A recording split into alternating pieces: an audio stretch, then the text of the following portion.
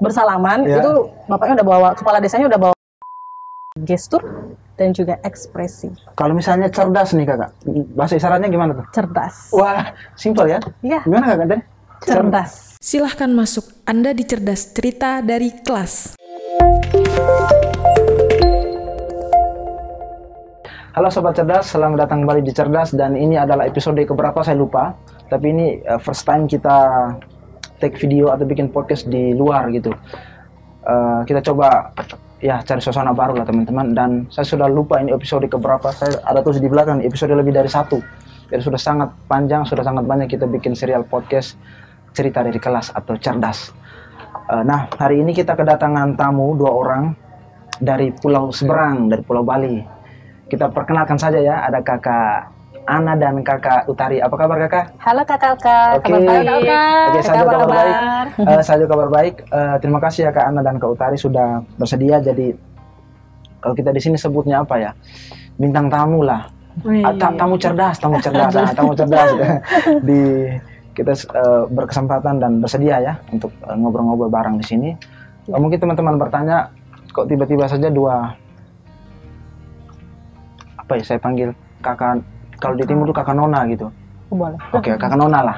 Atau bahasa Balinya buat perempuan itu apa kakak? G, G, Apa? G. G. mau G. Mau G. G, oh mau Sekarang G. lagi ngetren tuh G. G, oh Tapi G, untuk G. orang berkas. Oke, oke, oke, G. Oke, G, G, oke. Eh, G aja. G aja ya, G aja. Eh, dua G dari dari dari Denpasar ya. Kebetulan mereka ikut pelatihan mobilising support atau mobilisasi dukungan di Yayasan Satu Nama. Itu sebuah program dari Change the Game Academy bersama Will de Gansen Foundation dari Belanda ya. Oke, jauh-jauh di Belanda. Tapi kita tidak ngomong Belanda hari ini. Oh, kakak, ini kan dari setahu saya kakak dari apa namanya Yayasan Kolewa ya, Kolewa Ya, betul. Harapan Indonesia. saya coba cari-cari di kamus bahasa Inggris tidak ada sih kata kolewa. gitu. Sebenarnya kolewa itu dari bahasa apa dan artinya apa sih kakak? Oke, saya akan ceritakan sedikit ya Ah, tentang kolewa itu apa. Jadi kolewa itu ada eh, diambil dari eh, kata nama sekolah yang ada di negara Kenya. Karena eh, dulu pendiri yayasan kita itu mengawali eh, ya membuka yayasan ini Hmm. itu eh, di negara Kenya. Itu tahun 2005 beliau membuka eh, program yaitu tentang eh, pendidikan. Nah, Oke. karena di sana terjadinya ke- peperangan Iya, dan iya. tidak aman, jadi beliau itu pindah eh, pulang kembali ke negara mereka dan Iya. akhirnya datang ke Indonesia. Jadi Kolewa itu eh, nama sekolah yang ada di Kenya. Kenya, oke. Jadi Yayasan Kolewa Harapan Indonesia itu bergerak di bidang pendidikan juga. Oke. Jadi kolewa itu sebenarnya nama sekolah ya, nama sekolah yang ada di Kenya karena mereka memulai misi mereka gitu ya, Iya, betul. kegiatan sosial mereka di sana gitu teman-teman. Eh, saya coba pantau-pantau nih kak. Utari dan karena di websitenya Kolewa itu dan media sosialnya tuh sudah ada foto foto-foto jadulnya ya Iya. 2015 sudah ada di sana gitu kira-kira bisa diceritakan mungkin ke anak eh ke Utari dulu lah Perjalanan. ya ya sampai bisa kerja di Kolewa lah Oke, jadi eh, mungkin cerita sedikit ya. Ya. Dulu sebenarnya saya eh, lulusan bidan, Ya, D3 oke. kebidanan. Ah, ah.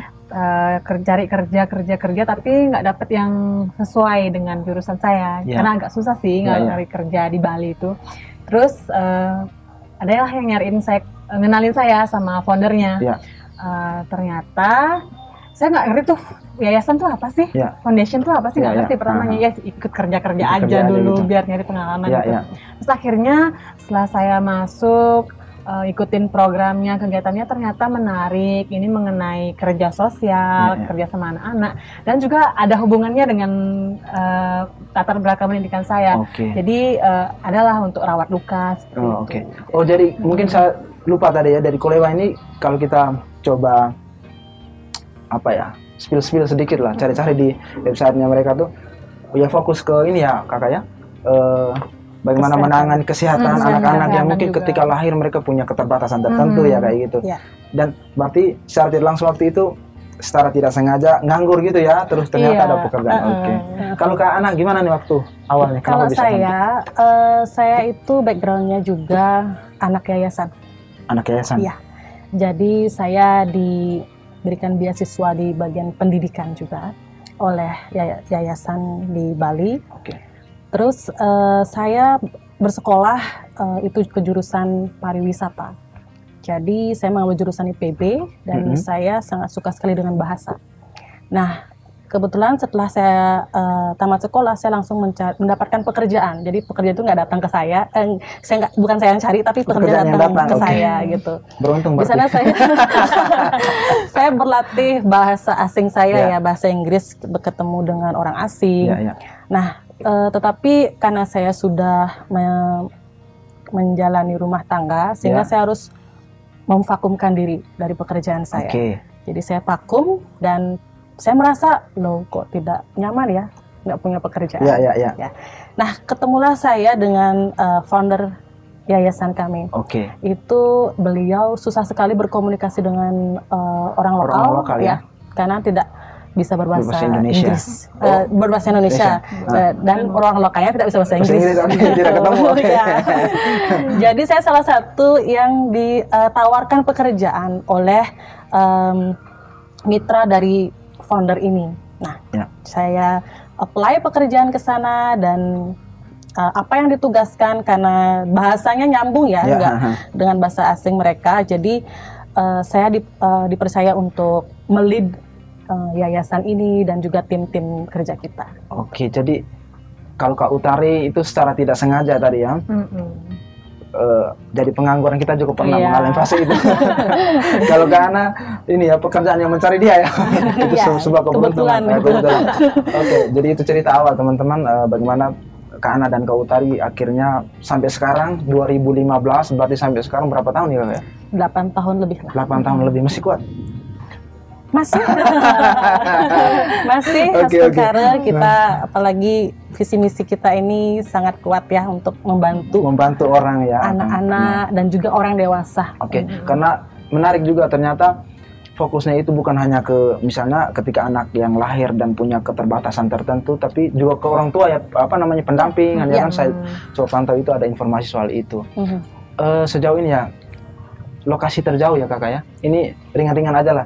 lokasi terjauh lah. Kan mungkin sekarang domisilinya di Denpasar ya. Iya, Tapi betul. mungkin lokasi terjauh selama ini ketika bekerja atau mendampingi eh, orang-orang itu paling jauh dan paling menantang tuh di mana sih? Oke, Eh, sesuai dengan pengalaman yang Ya. saya alami ya. Ya. Dulu eh, kita kan ha- hanya di Bali nih, terus kita menyisir menyisir pulau-pulau NTT. Pulau NTT. Ya, pulau Flores juga? terpaling. Ya, Flores Flores juga? juga. ya? Flores termasuk. Itu eh, pulau yang kita eh, sisir itu Sumba. Pulau Sumba, oke. Iya, Flores, Alor, Timor, eh, Rote, Ya. dan semakin dikenalnya Kolewa, Mm-mm. kita tuh udah sampai Sumatera, Jawa, Kalimantan, Ya. Ambon, Wah, Papua juga. Tapi Papua saya juga belum pernah menginjakan ke Oh, Papua. oke, kaki oke. di Papua. Hanya Kolewa- Papua sih yang belum. Kolewanya sudah sampai sana, tapi Iya. kakaknya belum sampai sana ya. Kita Iya. doakan. Oke, oke. Marokenya belum. Merokenya belum. Jadi tantangan yang saya temui itu yang paling sulit ya ketika penjangkauan pasien. Kita terjun ke lapangan eh, negosiasi dengan pendamping dan juga pemangku kepentingan seperti kepala desa. ya. Ketika kita mm, ingin menjemput pasien, Pasien, tersebut ha. untuk mendapatkan eh, operasi Oh iya, di Bali, ya. ya penanganan. Akan tetapi eh, kita melakukan kendala, yaitu pemangku kepentingan itu tidak menyetujui kegiatan sosial kita. Di sana kita bernegosiasi Ya. dan akhirnya pemangku kepentingan mengerti akan eh, Maksud maksud kedatangan Ya, kita oke, oke. dan apa tujuan dari yayasan membawa anak tersebut ke Bali. Eh, di sana saya eh, bernegosiasi itu cukup berat ya, Ya, ya. karena saya dibawain. Jadi ke- ketika saya mau bersalaman Ya. itu bapaknya udah bawa kepala desanya udah bawa karena dia pikir saya mau menjual anak ini. Anak yang Human mau dijemput. ya, ya, Iya. anak yang mau dijemput itu ya. Iya. Saya tetap sabar, Ya. senyum ya karena itu senjata ya Iya. untuk saya untuk kita senyum Iya, iya. bersalaman saya jelaskan tujuan saya dan akhirnya beliau setuju em, membawa eh, membawa adik ini ke Bali tetapi hati saya masih sedikit khawatir karena beliau senjata apa bawa Ya. ketika kita berdoa bersama. Wah, ini berdoanya ini kusyuk apa gimana yang saya harus lakukan ya gitu. Tapi saya Antara mengintip. Ya, antara waspada. mengintip dengan satu mata. saya begini berdoanya. Matanya kayak gini ya. Iya, karena saya Karena- Ya, ya. apalagi di pulau itu terkenal, pulau itu terkenal Wah, Ya, jadi saya di sana nih. tuh udah ke sana tuh udah deg-degan banget Ya, ya. ketika ketemu kepala desa dengan itu tantangan saya eh, paling besar paling di besar sana yang bernegosiasi yang meyakinkan kredibilitas gitu loh, legitim Ya, legitimasi kita gitu di sana sebagai eh, lembaga, Lembaga. yang datang untuk menjemput pasien. Eh, terus kita juga ke Pulau Ambon, Pulau Ambon. ya Pulau Maluku ya Maluku, Ambon. ya, Ambon Maluku. Kita datang ke Pulau Seram. Ini eh, di Pulau Seram ini juga sistem eh, kepemerintahannya tuh eh, Raja. raja. Raja, oke. Jadi pemegang keputusan itu raja. Raja semua ya. Nah, sama kasusnya juga mereka pikir kita mau menjual, Menjual anak itu atau orang-orang yang mau kita bantu Iya, itu. betul. Itu itulah tanggapan mereka. Akan tetapi kita bernegosiasi lagi dan memberikan hasil. Oke. Ya, ketika kita kita bawa mereka ke Bali, Bali. mereka kita bantu dan kita menunjukkan hasil dari yang kita bantu. Di sanalah mereka menerima, Menerima. kita dengan baik. Oke, jadi memang Parang tuh sebenarnya bisa dihadapi dengan senyum loh. Karena apa ya kakak? Tagline-nya Kolewa itu kenapa? Ya, Give- uh, gives um, smile for future. Oke, give smile for future. Iya, Oke, berikan senyuman untuk masa, untuk masa depan. Jadi ya, Parang tuh jangan balas dengan Parang ya. Iya. Kalau Kak Utari mungkin punya pengalaman yang susah dilupakan gitu, yang menarik, berbahaya juga bisa jadi. Apa Kak? Kalau saya sih nggak terlalu banyak Ya. mobiling sih ke pulau-pulau. Cuma dulu pernah mengawali, Mm-mm. Eh, tapi karena saya sudah menikah, saya Ya. hamil, akhirnya eh, CEO-nya bilang ya udah kamu di kantor aja gitu. Oke. Tapi pernah pas waktu itu saya lagi hamil muda, pergi sampai ke Pulau Komodo, Pulau naik Komodo. boat, Ya. ya. terus eh, sendiri juga pernah traveling ke Labuan Bajo waktu Labuan itu. Bajo, ya. Cuacanya buruk banget. Terus eh, pesawatnya tuh nggak bisa landing di Labuan Ya. Bajo. Mutar di atas terus ya. Iya, saya dibawa ke ND. Labuan Bajo ke ND.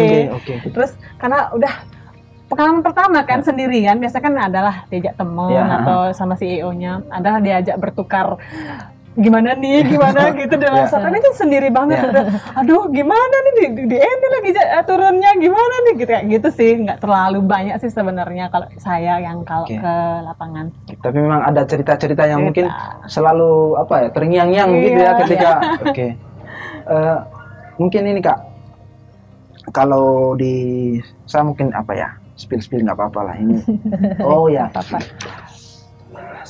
sebagai orang yang mungkin saya belum punya pengalaman banyak juga di NGO tapi bahwa beberapa pekerjaan bukan beberapa ya banyak pekerjaan-pekerjaan sosial itu selalu punya rasa tersendiri buat orang gitu. Hmm. jadi kayak kita kadang punya motivasi yang jarang kita temukan di tempat lain gitu. Ya, kalau kalau Kak Ana mungkin ya punya motivasi yang kayaknya saya membantu orang kemudian ke pulau-pulau menjangkau dengan dengan tantangan-tantangan seperti tadi itu ternyata punya motivasi tersendiri buat saya. Atau kakak punya motivasi apa sih dengan pekerjaan sampai sekarang itu Kalau motivasi saya bekerja di Kolewa ini, tentunya saya mendapatkan banyak pengalaman ya, Ya, pengalaman hidup, pengalaman bagaimana bernegosiasi gitu.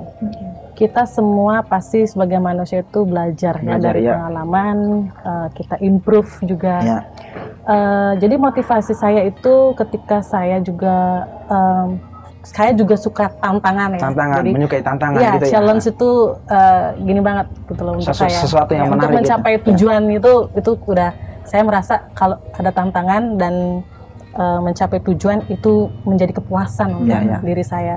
Terutama saya di bidang pendidikan itu em, saya suka sekali belajar bahasa isyarat ya bahasa isyarat karena itu kalau bahasa hati beda Gimana itu. oke lain lagi ya kayak itu bahasa hati. itu saya suka sekali bahasa isyarat. Ketik- ketika saya bertemu dengan anak tuli, eh, saya merasa, waduh, ini anak saya apain ya? Ya. Gitu. Eh, komunikasi nggak bisa. Nggak bisa. Nah, jadi saya pendekatan pelan-pelan kepada anak ini. Tidak langsung nih saya langsung ajak ngomong belajar bahasa isyarat atau Ya. bagaimana, tidak langsung seperti itu. Karena yang namanya anak itu perlu di- beradaptasi Ya, gitu kita dengan pendekatan lingkungan, khusus gitu pendekatan ya. khusus lah dengan anak-anak. Eh, setelah itu ketika saya tahu masalah anak ini, oh ternyata anak ini punya masalah dengan gangguan pendengaran.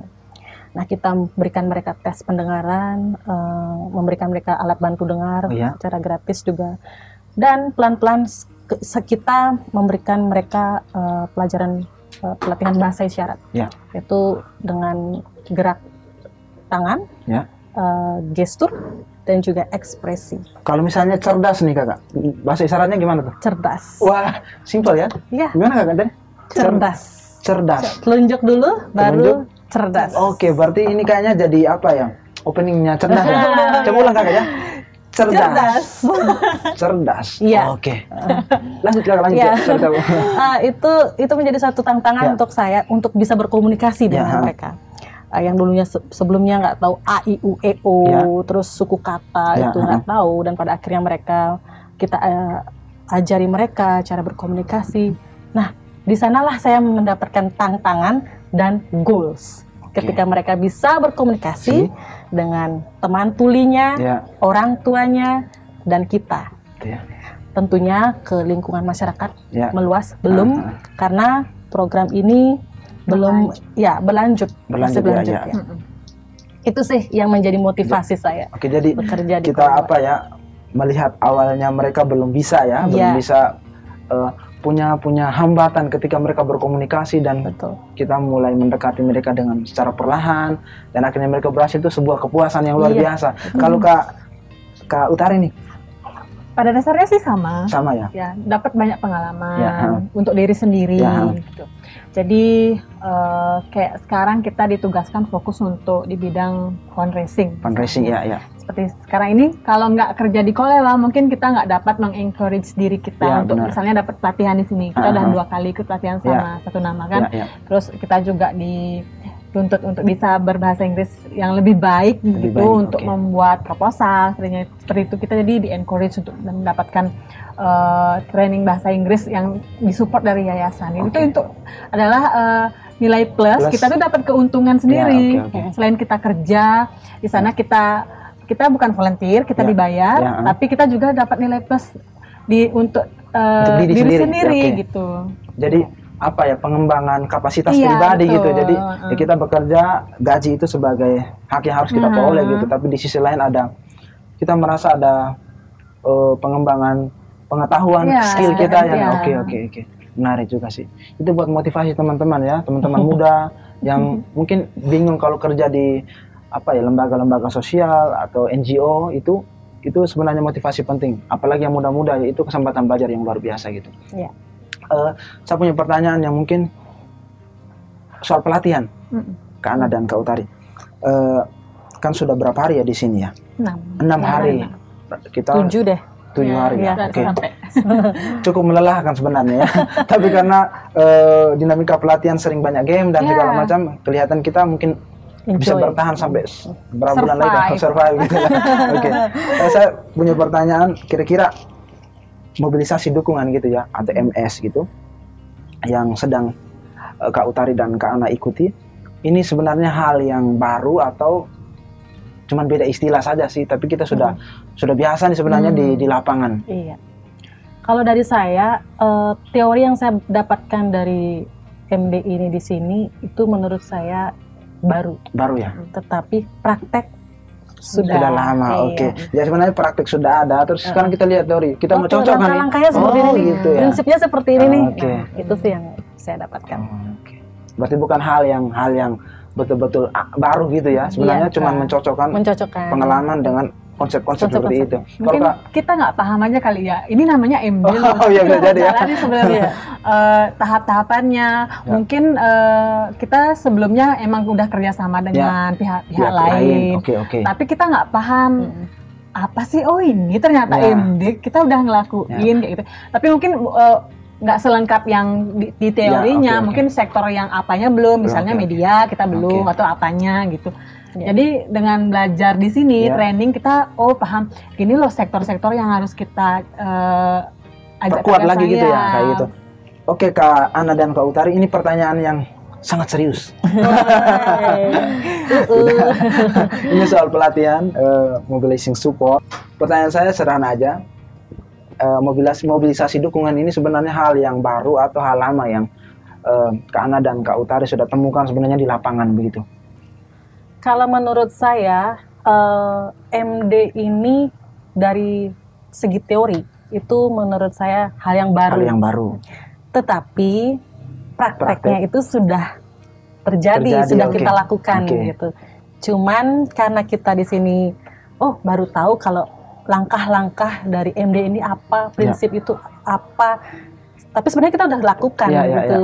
S- Udah dari dulu gitu. Cuman kita baru belajar sih teori-teorinya. Jadi istilahnya mencocokkan pengalaman dengan teori gitu aja ya Iya. sebenarnya. Kayak tadi istilahnya ini yo. Yang Bapak Bapak Desa bawa parang ya. Iya. Kak Ana punya cara tersendiri bagaimana proses Menyelesaikan. negosiasi. ya negosiasi dengan Bapak Desa gitu ya. Walaupun tadi berdoa matanya sebelahnya tertutup sebelahnya buka. itu proses pengalamannya sudah terjadi. Cuma mencocokkan di teori saja lah. Kalau Kak Kak Utari bagaimana? Iya, sama sih sama Mbak Ana ya. Kalau sebenarnya kita udah jalan, tapi kita nggak paham nih kalau apa yang kita lakukan itu adalah MD Ya. gitu. Ya. Mungkin eh, kita perlu memperkuat aja sih Ya. eh, di lingkup mana sih yang kita belum mungkin ada di lingkup medianya Ya, kita belum oke, kerja sama oke, atau oke. lingkup mananya. Sekarang dengan belajar Hmm. eh, adanya training Ya, ini ya. kita paham bahwa Ya. kalau melakukan i- mobilisasi Mobilisasi dukungan dukungan itu, itu. kita harus mencakup sektor-sektor sektor ini ini ini, ini oke, untuk oke. memperkuat eh, Ya. satu eh, program program kita lah, atau pekerjaan kita gitu ya. Jadi Ya. eh, bisa jadi kita sedang menyusun pasal-pasal begitu ya. Hmm. Yang sebenarnya rangkaiannya harus ini dulu ini dulu. Iya. Karena kita sudah lakukan sebenarnya itu itu pengalaman menarik. Jadi bukan hal yang sangat-sangat baru begitu kakak ya. Iya. Mm-mm. Eh, dengan pekerjaan, dengan aktivitas sebagai kalau kalau di satu nama tuh kita sebut pekarya kakak. Kalau di Kolewa tuh staff-staff disebut di- dipanggil siapa? Staff aja. Oh, Staff aja. Staff Staff aja sih, ya. ya. Oke. Eh, punya pengalaman yang sudah sangat panjang dari 2014-15 ya sampai sekarang itu ada nggak sih eh, semacam bukan wasiat ini pesan ya pesan atau eh, semacam motivasi buat teman-teman yang mungkin punya keluarga atau punya kenalan gitu yang ketika lahir punya keterbatasan tertentu ya saya tidak tahu istilahnya apa disab Disability. ya disability kayak gitulah Eh, itu apa yang seharusnya mereka lakukan atau pesan yang mungkin circle-nya di keluarga apa yang harusnya Hmm. diperhatikan gitu kak Iya. Kalau eh, saya sih orang tua Ya. yang memiliki anak yang lahir dengan cacat fisik, fisik itu mereka adalah orang tua yang hebat, orang tua yang luar biasa. biasa Mereka kuat, kita dampingi, kita berikan pelayanan. Jadi saya simpulkan orang tua ini adalah orang tua yang jiwanya cukup besar untuk Ya. bisa menerima anak anak dengan Oke, keadaan seperti keadaan itu. seperti itu Jadi untuk orang tua yang memiliki anak jangan berkecil hati karena ada bantuan, ada titik terang untuk anak-anak oke. tersebut. Ya, yang itu itulah yang diberikan oleh Yayasan Kolewa, oke. Give a uh, Smile Smile. for Future. kalau kak kak Ana lah eh kak Utari sorry sorry sorry Kak, saya selalu Kalau saya sih memiliki anak dengan terlahir dengan kekurangan fisik Ya. itu bukanlah suatu hal yang mungkin ada yang menyebut memalukan, memalukan ataukah aib, aib ya ya Itu kita perlu support. Mhm. Jadi eh, jangan menilai kekurangannya saja.